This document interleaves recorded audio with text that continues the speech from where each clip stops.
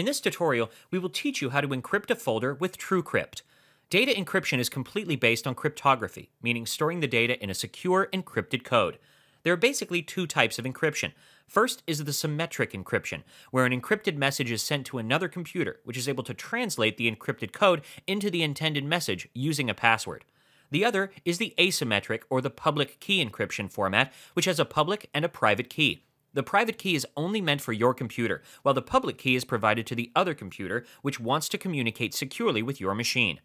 There are various types of different applications which help with encryption. For example, CryptoCat, a private and secure chat application, or Enigmail, a secure email client. PayPal, Amazon, and all other services use some sort of encryption. Although more secure, but for the average user at home, a simple symmetric encryption can certainly go a long way to keep your data secure. For that purpose, you can use TrueCrypt, which is an open source application available on Mac, Linux, and Windows. Before getting started, make sure the account you're logged in has an administrative right, since TrueCrypt won't run on a limited privilege or guest account. With the setup wizard opened up, just follow through the steps to install the application on your system. Once done, open up the application and click on the Create Volume button. With that done, the TrueCrypt Volume Creation Wizard will open.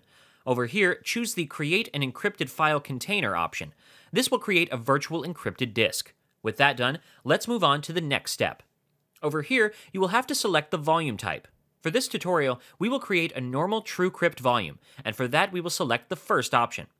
Next, you would be required to select a location for the volume. Simply browse to the location where you want to create the encrypted folder and give the folder a name. Next, you will be required to set the encryption options. Make sure that the encryption algorithm is set to AES, which stands for Advanced Encryption Standard. This is the algorithm which is used for symmetric encryption. Leave the rest of the options as they are and move on with the process. Now you will be required to specify the volume size for the encrypted folder. For this tutorial, we will set it to 100 megabytes and click on Next to move on with the process. Next, type a password for the folder. Use a strong password by using an alphanumeric combination.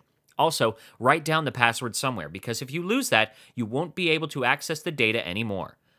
You can even decide to use key files. Key files are basically any type of files, be it a document, image, or an audio file, that will be used as a key to decrypt the folder. Losing that particular file means that you won't be able to decrypt the folder, so it's very important to keep a backup. To activate that, simply tick on the checkbox next to Use Key Files option, and then click on the Key Files button. Once the new window opens up, click on the Add Files button, and select the file that you want to use as a key file.